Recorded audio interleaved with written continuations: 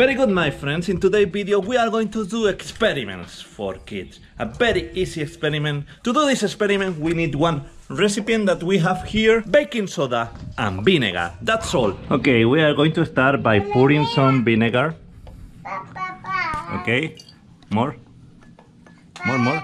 Put more, more, more. Yeah, yeah, yeah. Like this. Fine. Thank you. Okay. We remove the cap. Now we have to put some baking soda. White. You want to see also the experiment? Yes. Okay, now we are going to put one spoon of baking soda in the recipient. Whoa! Look at that. You see what happened? A lot of CO2 is re being released from there. ¿qué he hecho, Elizabeth? Oh, Hay muchas burbujas. you see? You want to do it now? Okay, do it. Yo, yo ya lo he hecho. Okay. Whoa! Again, the reaction. Oh, very good. ¿Qué dice papá? You like it? Parecía burbujas de cerveza. Yes, like the beer.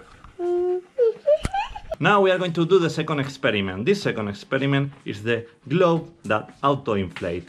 To do that, what we are going to do, we need a glove, one recipient, and also a funnel. Okay, you have to get the glove, put the funnel in the glove. Now you have to put some baking soda there. You have the baking soda, put some spoons of baking soda. You, do you want me to help you? Okay. Okay, now I'm going to put the glove there. Yo quiero. Okay, let's put. Yo quiero, papi. And now, what you have to do is. Whoa! Whoa! Look! Noah! Oh! It's feeling itself. niños. Está saliendo muchos niños. Whoa! Do you like it? Yes? That's nice. This is an special balloon. It's full of CO2. It's another gas. It's not the normal gas that you are breathing.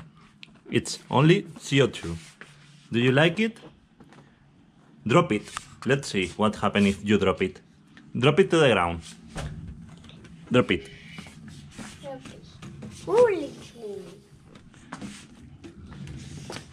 Podemos ponernos.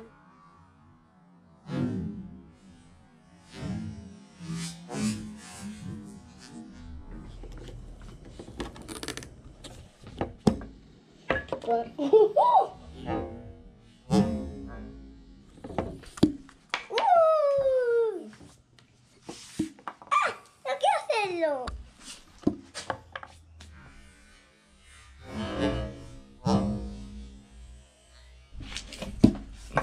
Hello too.